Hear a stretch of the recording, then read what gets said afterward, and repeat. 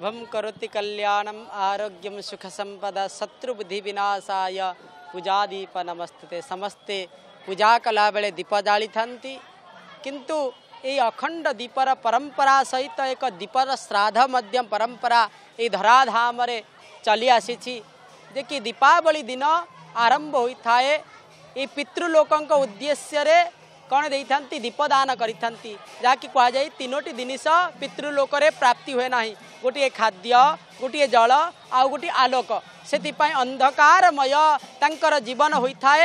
ସେଥିପାଇଁ କ'ଣ କରନ୍ତି ଦୀପ ଶ୍ରାଦ୍ଧ ମଧ୍ୟ ଦେବା ପାଇଁ ସମସ୍ତେ ଇଚ୍ଛା କରିଥାନ୍ତି ଆଉ ଏ ଦୀପ ଶ୍ରାଦ୍ଧ କେବଳ ଦୀପାବଳିରେ ହିଁ ଦିଆଯାଇଥାଏ କାହିଁକିନା ଏ ଦୀପାବଳି ଦିନ ହିଁ ଯାହାକି ସମ୍ପୂର୍ଣ୍ଣ ଭାବରେ କ'ଣ ଲୋକମାନେ କ'ଣ କରି ମିଶିଥାନ୍ତି ଆଉ କ'ଣ କରନ୍ତି ପିତୃଲୋକଙ୍କ ଉଦ୍ଦେଶ୍ୟରେ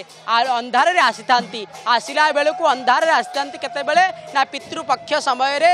निकटवर्ती हुँदै आ निकटवर्ती र त्यतबे गमन गरि अमावास्यार दिन हिँड गमन गरि पितयको आसि पितृ भाव सम्पूर्ण भावी निज लोकप्राइ तर आलुले अन्धार आसिले आलुर जाँदा ए पयाँ श्राद्ध त नाम कहीं ना देखिए जो काठी जो जला जाए तार नाम होती पैया बोली कहुए जिते बेले झोट बाहरी पड़े केवल रही था खा, खाड़ी हो संपूर्ण भाव में शुक्ल रूप से टी घृत आउ कौन लगैदि टिक घुत त सहित तुलावती टि सम्पूर्ण भावर जादि आलु परिवर्तन गरिदिने त्यतिपकि अन्धार आस ए बड बढिया अन्धारे आस आलुले जाओ बइसी पावचे अबडा खाइ गड था एभए ढाकि प्रदान कर दिंती आलोक आउ कई कई स्थान मानक गोटे गोटे प्रदीप पितृं उद्देश्य उत्सर्ग करती पितामह प्रपितामह बुद्ध प्रपितामह नाम उत्सर्ग कर दिंती मातामह प्रमातामह बुद्ध प्रमातामह नाम उत्सर्ग कर दिंती कहीं से लोक आलोकित हो सी आलोकित हवा द्वारा आशीर्वाद दे जीवन आलोकित हम सुगमित हे वैज्ञानिक अनुसार समस्ते यही समय रे ही बहुत पोक मान पोक जंतु मान उद्भाव नहीं था कहीं वर्षा सरी जा बर्षार निर्मलता प्राप्ति परे परे समस्ते सब कुंडे जल एकाठी जल एकाठी हवा द्वारा कीट पतंग मान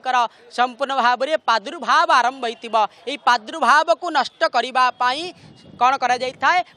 काठी को जाड़ा द्वारा तार सुगंधित वैदिक अनुसार वैज्ञानिक अनुसार ताद जो धूम बाहरी थाए से धूम द्वारा नष्ट हो जाती कीट पतंग ସମସ୍ତଙ୍କମାନେ ସେଥିପାଇଁ ବୈଜ୍ଞାନିକ କାରଣ ଅନୁସାରେ ସମସ୍ତଙ୍କର ଘର ଆଗରେ ଜାଳି ଜଳା ହୋଇଥାଏ ପଇଁଆ କାଠି ଏ ପଇଁଆ କାଠି ଜଳିବା ଦ୍ୱାରା ରୋଗନାଶ ସହିତ କୀଟନାଶକ ମଧ୍ୟ ହୋଇଯାଆନ୍ତି ତାଦ୍ୱାରା ଶୀତ ସମୟ ଆସିବା ଦ୍ୱାରା ମଧ୍ୟ ସେ କୀଟପତଙ୍ଗ ମରିଯାଇଥିବେ ତାପରେ ଶୀତ ଆସିବା ଦ୍ୱାରା ସମ୍ପୂର୍ଣ୍ଣ ଭାବରେ ଆମକୁ ଶୀତ ଅନୁଭୂତି ହୋଇଥାଏ କିନ୍ତୁ କୀଟପତଙ୍ଗ ସମ୍ପୂର୍ଣ୍ଣ ଭାବରେ ବିନାଶ ହୋଇଯାନ୍ତି ଗୋଟେ ସ୍ୱତନ୍ତ୍ର ଗୋଟେ ରହିଥାଏ ଆମର ଆଶ୍ୱିନ ମାସରେ ଯେଉଁ ମହାଳୟା ଅମାବାସ୍ୟା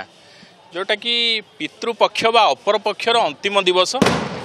ସେଦିନ ଆସିକରି ବିଶ୍ୱାସ ରହିଥାଏ ପିତୃ ଲୋକମାନେ ସବୁ ଆସିଥାନ୍ତି ଏବଂ ବାଇଶ ପାହାଞ୍ଚରେ ବା ଶ୍ରୀମନ୍ଦିର ନିକଟରେ ତାଙ୍କୁ ଶ୍ରାଦ୍ଧ ଦିଆଯାଏ ଯେଉଁଥିରେ କି ସେମାନେ ଶ୍ରଦ୍ଧାରୁ ଶ୍ରାଦ୍ଧ ଉତ୍ପନ୍ନ ହୋଇଛି ଏବଂ ଆଶ୍ୱିନ ମାସ ପରେ କାର୍ତ୍ତିକ ମାସର ଯେଉଁ ଦୀପାବଳି ଅମାବାସ୍ୟା ସେଦିନ ମଧ୍ୟ ଅନେକାଂଶରେ ଶ୍ରାଦ୍ଧ ଦିଆଯାଏ ବଡ଼ ବଡ଼ୁଆମାନଙ୍କୁ ଡକାଯାଏ ଅର୍ଥାତ୍ ଯେଉଁମାନେ ବିଗତ ହୋଇଯାଇଛନ୍ତି ଯେଉଁମାନେ ଘରର ଇଷ୍ଟ ବା ପିତୃପୁରୁଷ ସେମାନଙ୍କୁ ବଡ଼ ବଡ଼ୁଆ ବୋଲି କୁହାଯାଇଛି ତେଣୁ ବଡ଼ ବଡ଼ୁଆମାନଙ୍କୁ ଡାକ ଦିଆଯାଇଥାଏ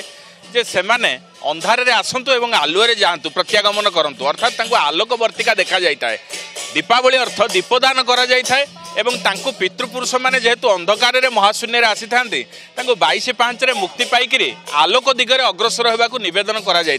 সেপাইকা এ পয়াশ্রাদ্ধ এবং দীপদানর বিধি যেটা কি কার্তিক মাস দীপাবলি অমাবাস্যার করা যাই এবং কাউরিয়া কাঠি জাড়িকি নিজ নিজের পিতৃলোক মানুষ এঠারে মুক্তি কামনা করে থাকে এবং সে আলোকবর্তিকা দর্শন করে থাকে